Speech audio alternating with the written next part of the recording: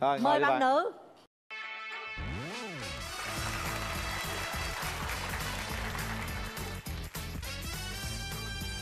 rồi mời em ngồi giới thiệu về mình đi em Dạ, em tên là Lê Lương Yến Nhi ạ. Năm nay em 28 tuổi, sống và làm việc ở Hồ Chí Minh, quê em ở thành phố Hồ Chí Minh luôn ạ. Em làm logistics, ta làm cái gì em giống như xuất nhập khẩu á chị. bạn trai Chào à, anh Quyền Linh, chào chị Cát Tường. Em tên là Nguyễn Thành Long, sinh năm 1989. Em à, quê quán thì ở à, Bạc Liêu nhưng mà hiện nay sinh sống và làm việc ở à, Gò Đen Long An. Công việc của em là quản lý cửa hàng nông ngư cơ tức là máy cài đấy à, kia máy đó cài, cài xe cuốc rồi đủ thứ động cơ. điểm mạnh điểm yếu của em là gì nhi Dạ, điểm mạnh của em thì em cảm nhận được là mình là người hiền lành, ờ, thích sống gọn gàng. Điểm yếu thì em có nhiều lắm.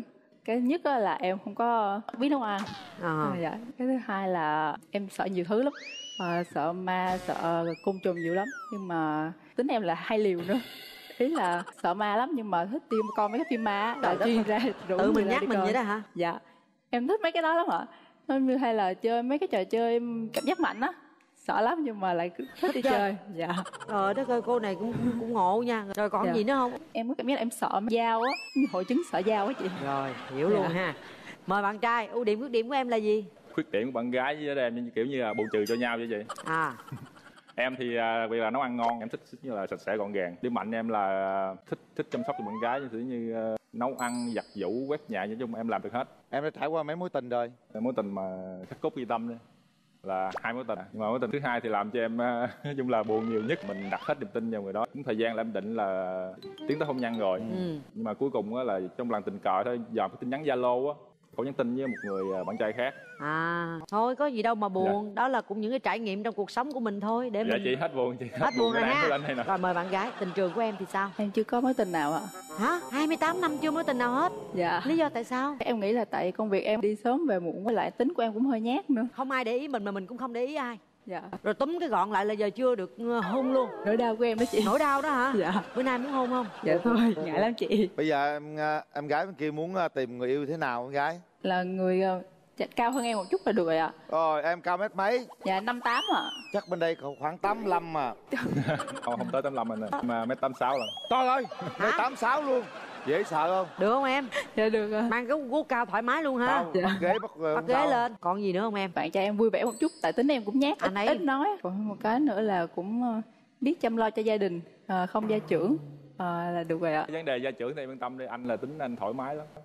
Không có vụ mà sở thích anh là thích là chăm sóc phụ nữ như là chăm sóc người bình thường thôi. Mẫu người lý tưởng của em như thế nào? Mọi người chỉ cần cao từ mét năm bảy trở lên được rồi khuôn mặt ưa nhìn thôi phúc hậu giống mẹ em đi. Điều gì em không thích ở người bạn gái? À, điều như là đứng núi này trong núi nọ. Quen người này mà nhắn zalo người khác đó hả? Nhưng mà từ nãy giờ chị cứ nghe em nói là em chăm sóc bạn gái cụ thể em chăm sóc chăm sóc làm Thể sao? thì tới tới mùa mà mùa mặn đó vậy mùa mận mấy cái ngày đó thường bạn gái người ta hay cái gì là tính tình khó chịu á. Mình sẵn ngang sàn ngồi ngồi nghe nghe chửi. Rồi dung là quét nhà lau dọn giặt giũ em làm nấu cơm làm được hết trời đất ơi vậy luôn á hả? Chăm sóc vậy luôn á hả? Vậy mà cũng nở nào lòng nào có người khác hả? Ngược nhiều khi như nó ngược những người tốt thì lại không thích nhưng mà những bạn trai đối xử này kia mà đánh thì cũng vẫn ờ, bám theo. Hay là tại vì em chưa quan tâm bạn trai gái một cách sâu sắc chưa hiểu người ta. Bây giờ bữa nay em phải làm một cái gì đặc biệt để em ấn tượng với bạn gái. Chứ chị nhìn tướng em thấy ấn tượng rồi đó. Trời ơi mang đôi dài dữ luôn ha. Bây giờ em hát một khúc tặng bạn hát bạn gái đi. Mà em thì hát thì à, không có hơi hát thì dở nhưng mà à, vẫn hát. Đúng rồi ấn tượng.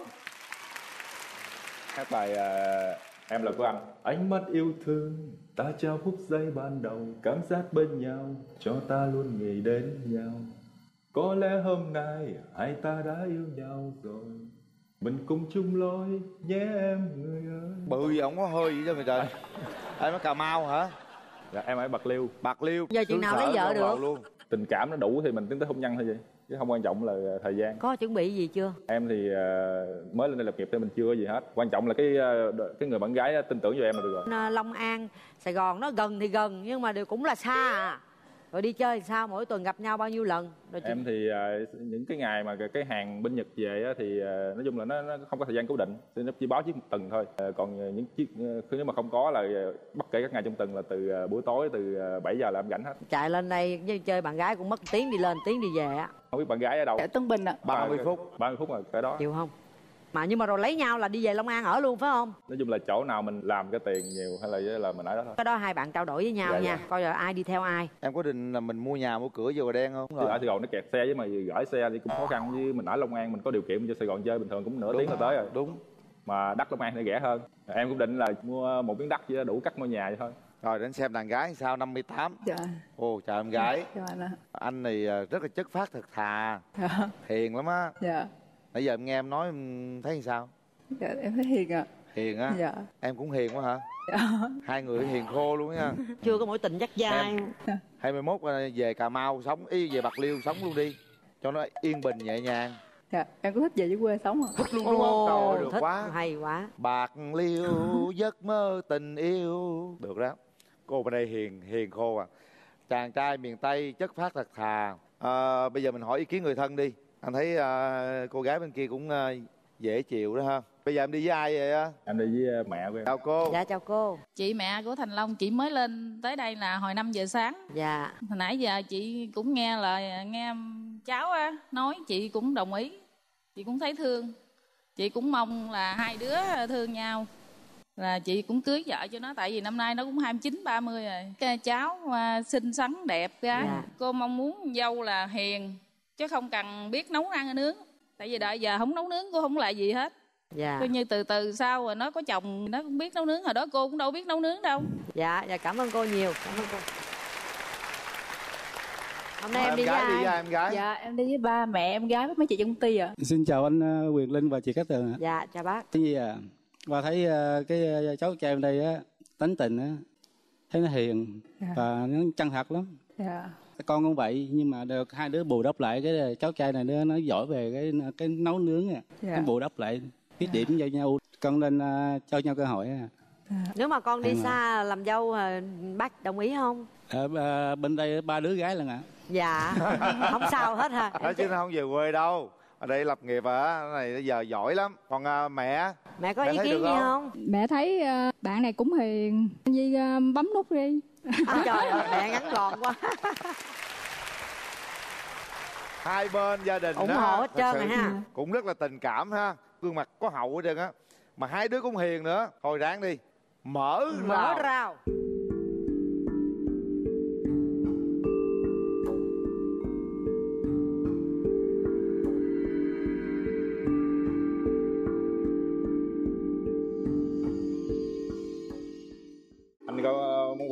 Em? Dạ em gửi anh ạ nó nặng Dạ. trời ơi ông cao gì cao dữ vậy? Đâu đâu đứng đứng gần bạn gái coi rồi ví dụ muốn hung là phải dướng lên đó.